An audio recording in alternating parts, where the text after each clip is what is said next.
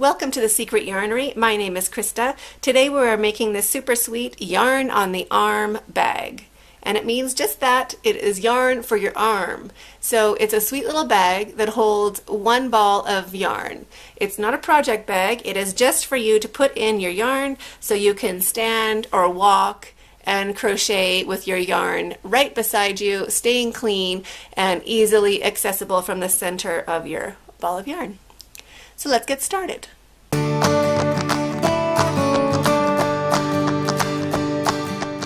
going to use these two uh, shades of natural cotton. So these are uh, rated a 3. It's a light yarn and it's for a 4 millimeter needle, so about a 5 millimeter crochet hook. I am using a 5.5 millimeter crochet hook.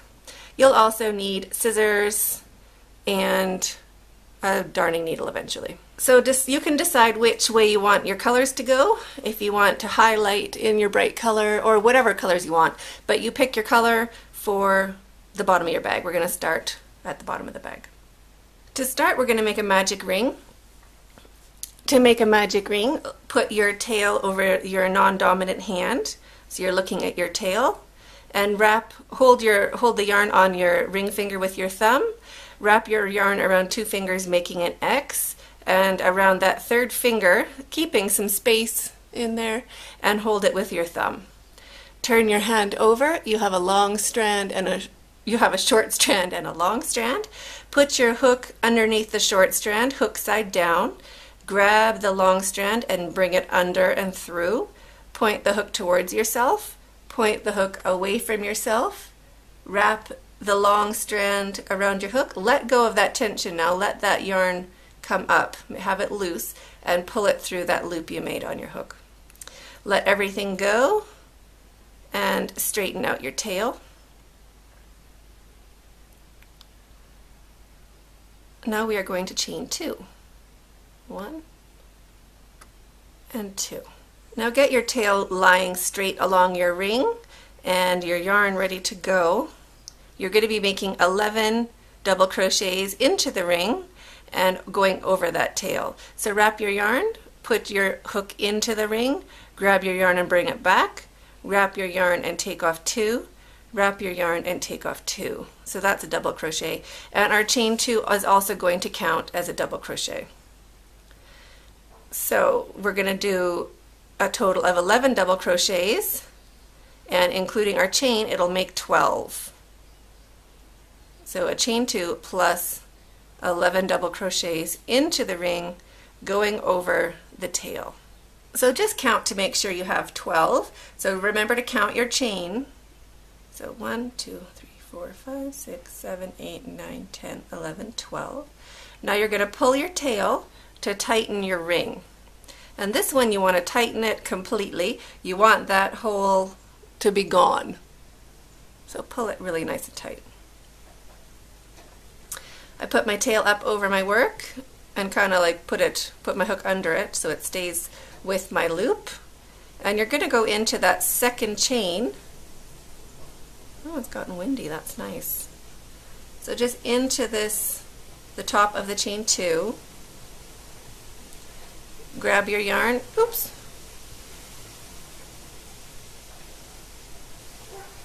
Grab your yarn and bring it back. Grab your, and turn your hook and bring it through that loop. So that's a slip stitch. And because we put our tail up, our tail is now in, on our next round. So now we can go over that tail a little bit. Make sure it's snug. Make sure it hasn't opened up. And you can just pull your loop up, take your hook out, and just wrap this, this tail just around these back loops. So just over and over a few times. That'll just help work it in as you're going around. It'll help you not have to use a darning needle. Like so. Alright. Now chain two again, one and two. And we're going to go into that same spot where we have our chain we're just going to go into that spot and make a double crochet. So where we did the chain, we do one more double crochet. so that counts as two. And then into each stitch, we do two double crochets. So at the end of this round, we'll have 24. So two double crochets into each stitch. You can work over your tail from your, from your magic ring. And I'll see you at the end of this round. So now make sure you have your 24. So I just count my pairs. So 1, 2, 3, 4, 5, 6, 7, 8, 9, 10, 11, and 12. So that's my 24 for this round. And you're going to slip stitch to the chain 2. So that stitch at the top, that's your double crochet. So we're not crocheting into that one or slip stitching into that one. We're going to go into this chain on the side. So put your hook in, getting two loops on your hook. Keep your tension tight, bring your yarn back, turn your hook, and bring it through. So there's your slip stitch. We're doing a chain two just to keep it um, tight on that side. We don't want it uh, loose with a bigger hole. So I find a chain two really helps. So we're going to do that again, chain two, and instead of going into the same stitch, we're going to make two double crochets into the next stitch. One and two. And then a, one double crochet into the next, and an increase of two double crochets into the next. So we're doing an increase and then a single and then an increase and then well an increase and then one double crochet and then an increase and then one double crochet. So we're just alternating making a pair of double crochets and then one all by itself all the way around. So at the end of this round we'll have an extra 12 stitches. So we'll be up to 36. So keep going, I'll meet you at the end of this round. Into the last stitch you're going to do your increase of two double crochets. If you haven't then go back and check where you went wrong because we started just with a chain two and then we went to the next one to do an increase. So how we're going to end our rows is with our oh, end our rounds is with the increase so that's just a quick way of not having to count if you ended up with your increase in the last stitch chances are you did it right so into this second stitch it's the one just on the side here not the top, the top, that one's your double crochet. So just get in there somewhere. Two loops on your hook in a perfect world and slip stitch to join. So that is three rounds and we are doing one, two, three, four rounds. So one more round. One, two, so chain two, so into the next stitch, one double crochet. So that counts as two double crochets so far, one into each stitch. Into the third, we're doing an increase, so two double crochets into the third stitch. And then one double crochet into the first, one double crochet into the second, and two double crochets into the third. So that's your increase. So one double crochet into the first, one double crochet into the second, two double crochets into the third. So keep going like that all the way around and I will see you at the join. Into the last stitch, it's our increase. So that's also our safety check that we did our stitch count right. If you don't, or if you aren't doing your increase in the last stitch, go back and see where you messed up. Usually it's me in the beginning, I forget to count that chain two as a double crochet. So I do my chain and then I do my two double crochets and then I do my increase and then that gets my stitch count off. Not the end of the world, you can just fudge it on this side, but just make sure you added 12 stitches. So now you're at 48. So slip stitch into this chain two, this one halfway up, just to pull up that side. Sorry if that construction is annoying. It's across the road on the other side of the house. So it's just echoing across that empty field.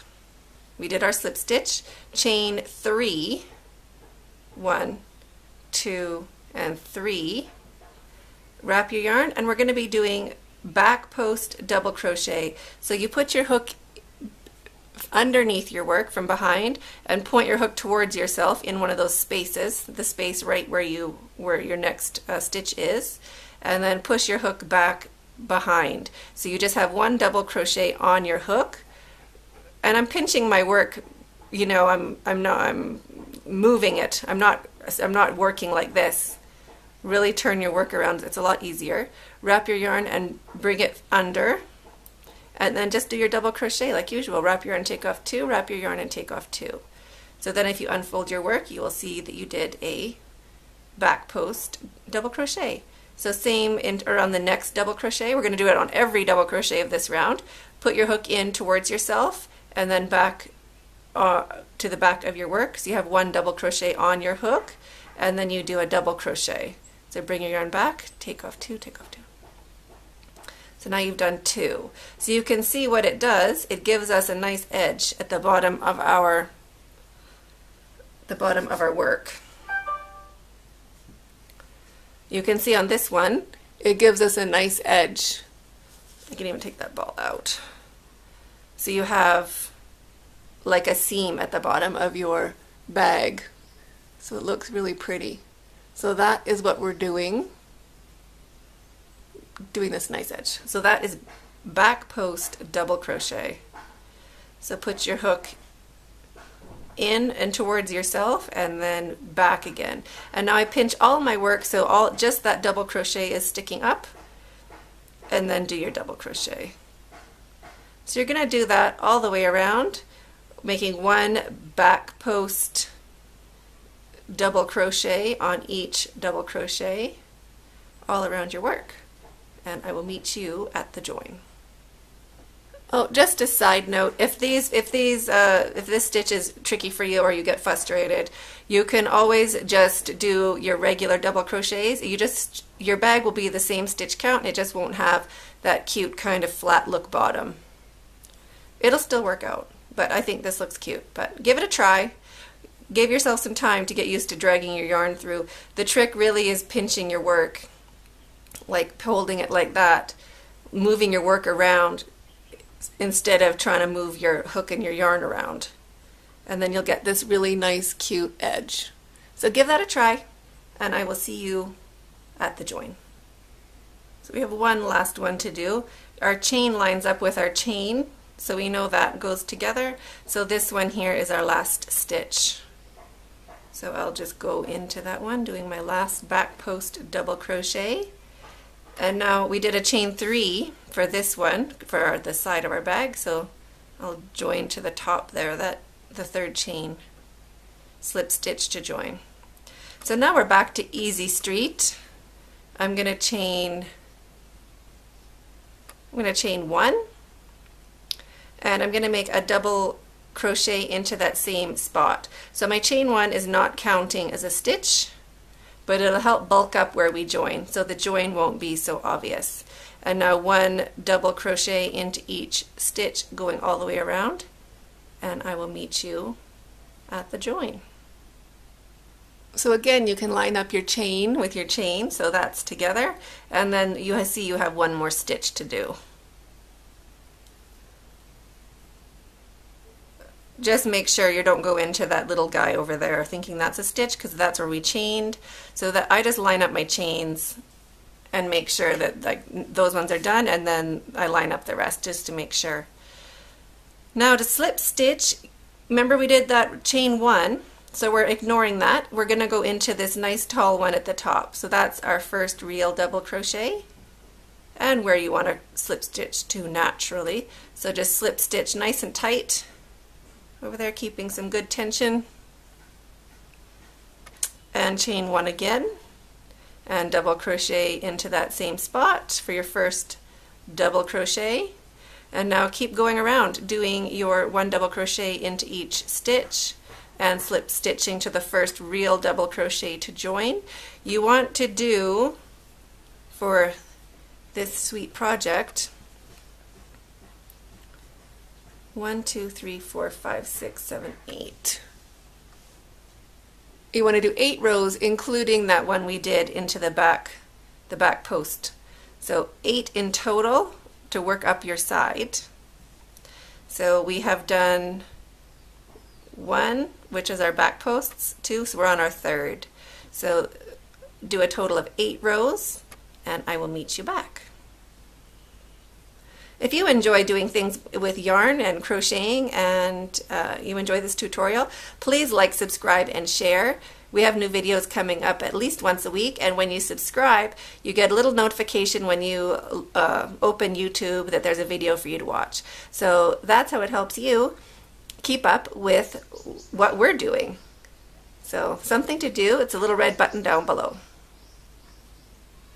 Keep going, I'll meet you when you're finished all these rows there are our eight rows. And you can see you can see the join but it's not too well it doesn't have holes in it. Anyway eight rows. It still looks really small like it's going to be too short but don't worry about it. We've joined our yarn. We've slip stitched so now I'm going to chain one and cut my yarn and pull my hook up and my yarn out and just tighten that down. And then I'm going to work in my tail just with my hook and into the back loops only. I'm going to go forward a good chunk, about six stitches usually. Just loosely, you don't want to do it tight, but just work it forward, give it a bit of a pull. And then and then bring it back a couple stitches just so it's going back along itself like so. Get your new color yarn, whatever yarn you're going to be using for your handles. So now we're going to be doing this top part, so whatever color you want that to be. I'm using this nice light brown. So I want to join kind of in the same area as this just so we have one side of our bag that has the general imperfections.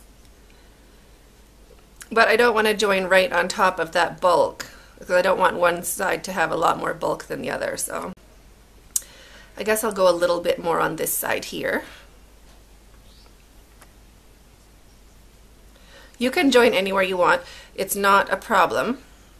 It's up to you. So I'm going to join about three stitches back and put a I put my hook into that stitch and put a loop of yarn on my hook and I'm going to bring it back and slip stitch with both to join like that. I'm going to drop my tail, I'm going to work over it going along this side into the next stitch single crochet and one single crochet into each stitch going all the way around. Remember you don't want to be adding stitches. So here we did our chain and our double, but that counts as one stitch. So how I do that one, I go into the first one, it's tight, but I do a, I bring my yarn back like I'm doing a single crochet, but I leave it on my hook, and then I go into the next stitch. If I can get into the next stitch. Like, nope, that, and that. So into the next stitch. And I want to start another double crochet. So now there's three loops on my hook. I'm going to take all three loops off. So that was a decrease but it just makes it look um, it looks like you did two stitches but you only did one so that just helps make that side look normal. And I do that quite often when I'm going over joins just to keep the look. Now single crochet one into each stitch all the way around. And we're going to be doing this in a spiral. So I'll meet you when we get back here. So where we joined our yarn, we did that slip stitch. Into that same stitch, I'm going to do a single crochet. And now I'm going to slip stitch over to the first real single crochet. So we had lots of loops on our hook, so it's a bit tight. That's fine. I'm going to single crochet into there and away we go one single crochet into each stitch so now we're in a spiral. We're going to do this for four rounds. If you want to make sure you don't lose track of where you started because me I can see where I joined over here. I can kind of see that it's not totally straight. But if you'd like to not have to worry about it, just put in a stitch marker. So this is the one here, so I'll just put a little stitch marker that that's where I joined. You can see that's where we're stepping up, but as it gets taller, you won't notice that. You're also welcome to go in the round and step up each time with a turning chain. That's fine. But maximum laziness, working in a spiral. Now we're getting back to our join where we joined. So just make one single crochet into each stitch and that'll just even out that little hill. And you can see how that's evened out. We're not finished yet, but you can see that it's not, that hill part is disappearing. So keep going. So three rows, I'm going to start my handles. You can do four rows. I think I did three rows on this one. So I'm going to do it the same as this. So three rows. I thought it was four. But it's not.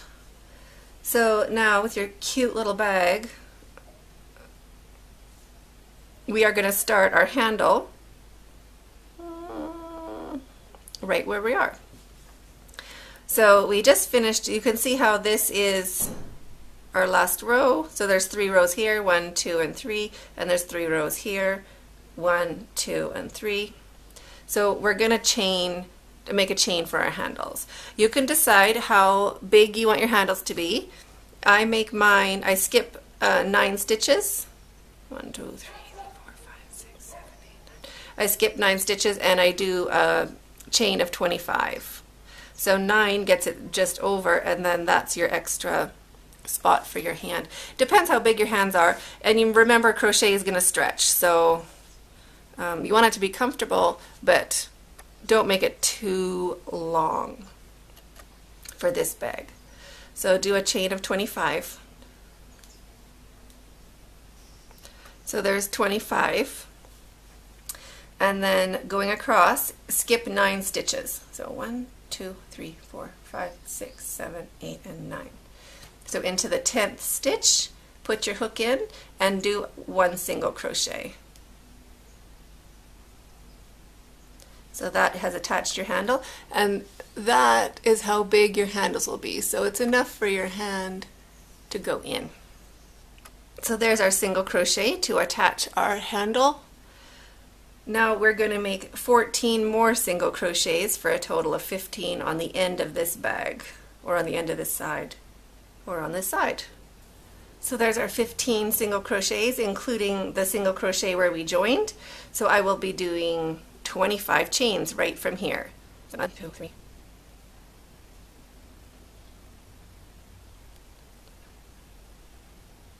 Okay, so there's 25. Now I'm just going to flip the bag over a little bit. And it helps also if you line up where you attached the handle on the underside to the new side just to give you a visual of what you need to do. So skip nine stitches. One, two, three, four, five, six, seven, eight, and nine.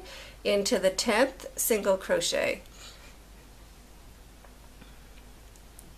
Oh, there's my single crochet. That counts as my first one. So now you're going to do 14 more single crochet along this side.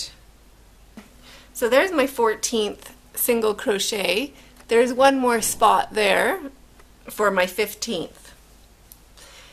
But because we already have our chain, we're going to do a decrease. And we decrease so that your handle bends up. So we're just going to be decreasing in this area so your handle doesn't flop out like that. It goes a bit flatter. So it's a bit fussier, but you get a nice looking handle and decreases we can manage. So put your hook into that next stitch and bring your yarn back and leave it on your hook, don't finish it. Go into the next stitch, now it's a chain stitch on your chain, bring your yarn back, wrap your yarn and take off all three loops on your hook. So that decreases the last stitch of your band and the first stitch of your handle. So we're going to do that every time the handle meets the bag. So now go along your chain, just poking in your hook into your chain and making one single crochet into each chain. It doesn't matter if you go into your back loops, you can if you'd like, or your camel bumps back ridges. You can go and put one loop on your hook, you can put two loops on your hook. Whatever you want to do, just do it the same for each stitch. And I'll meet you at the end of this fiddly bit. So I'm working along my chain. I have this one, the last one on my chain and my first one of the bag. So I'm going to do a decrease just so it gets a nice bit of an angled join. So start my single crochet into the last chain, the last stitch of my chain, and then go into the stitch on the bag, the band along the top of the bag, go into that one like regular, and then finish them both together. So you get a nice little decrease on that side of the handle as well. And now single crochet till you reach the next handle. So for this handle, we're going to do our decrease for this stitch here and that stitch there. Because this one belongs to the bag and that one belongs to the chain. So I'm going to do two more single crochets before we get there.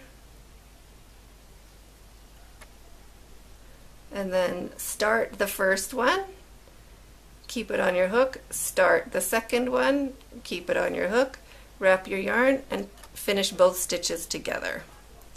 Now work your way up along the chain, one single crochet into each stitch, and do it however you did on your last handle. I'm just going into one loop,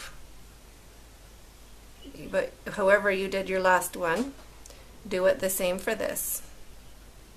And I'll meet you at the end of this handle.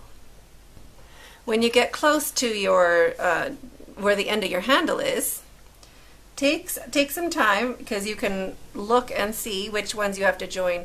So this is the first one of my bag, that little guy down there, so I'm going to join him. And then this guy here, I'm going to join those two together. So I have one more to do. If you leave it too close, it can be confusing what you're looking at. So I kind of plan ahead a bit for this decrease. And these are the only tricky ones. After this, it's a lot easier to see.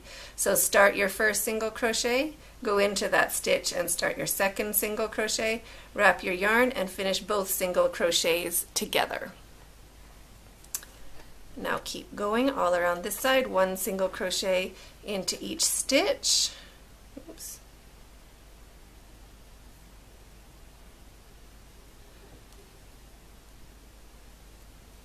And I'll show you what we do when we get to our handle again. Now this one, we're going to stop with two stitches still left on the bag side of the band.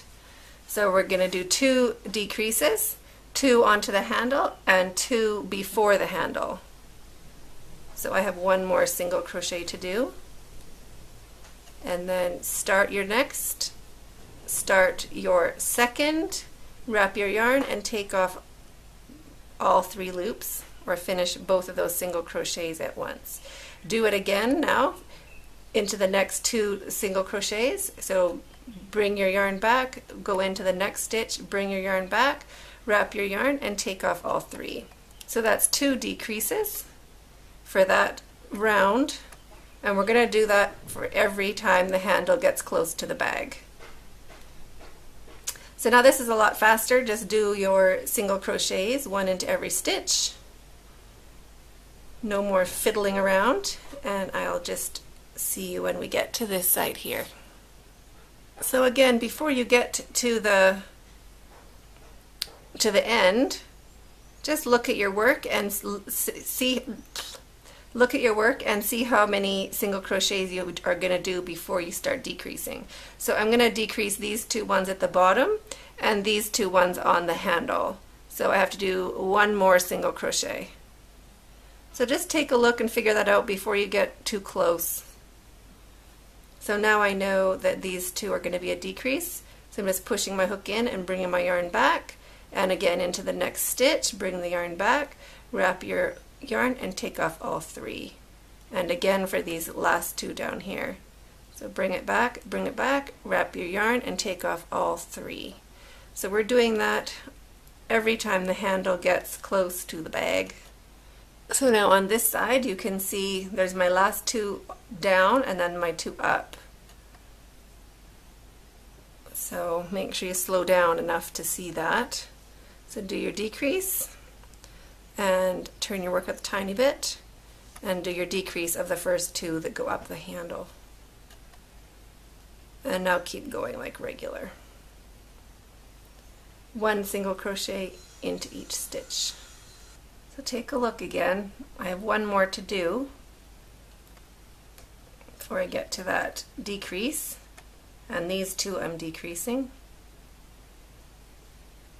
So start your single crochet, start your second single crochet, finish them both together, and again for the next two. So start your single crochet, start your second single crochet, and finish both together.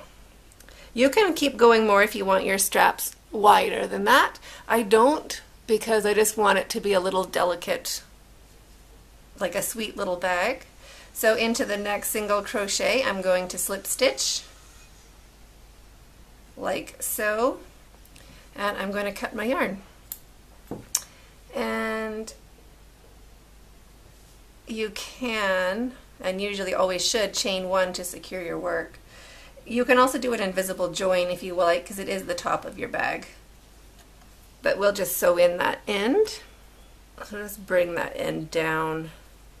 And you, I pull the first, the first time quite tight, just to get that knot flush from my chain one.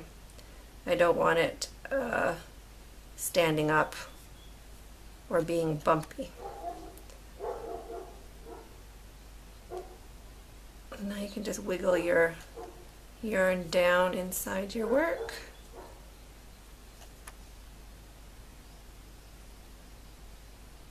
And try to work it in from the uh, back, the inside of your bag especially if you have fancy, not fancy, but this natural cotton can be a bit tricky. Something like that. A little bit back and forth and around. They say three directions for crochet, so your end doesn't come out. And you can trim it. We can take out our stitch marker where we started. And you can see we worked in the spiral, but you can't really see Whoop, no you can't see. we worked in the spiral,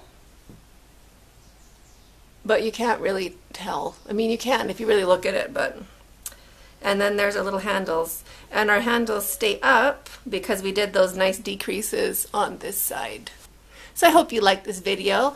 Please like and subscribe and share with your friends and stay hooked.